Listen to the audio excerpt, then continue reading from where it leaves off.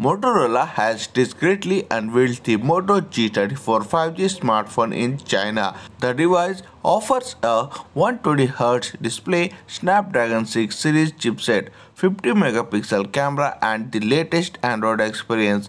Recent reports have revealed that the G34 will also be released in Europe in the coming days.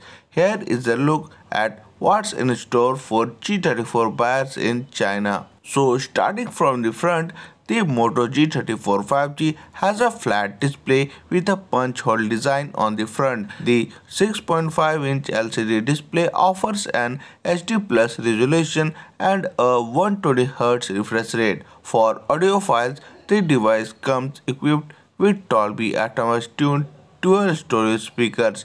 Under the hood, it runs on a Snapdragon 695 processor supported by 8GB of LPDDR4X RAM and 8GB of virtual RAM for efficient multitasking.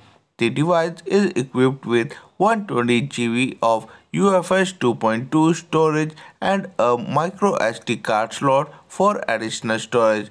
The phone packs a 5000 mAh battery that supports 18 watt charging via USB-C port. In terms of photography, the Moto G34 5G is equipped with a 16 megapixel front camera for selfies and a dual rear camera setup comprising a 50 megapixel main sensor and a 2 megapixel macro lens. The device runs on Android 14 with MyUI 6.0 and comes with a side-facing fingerprint sensor for added security and weighs 179 grams.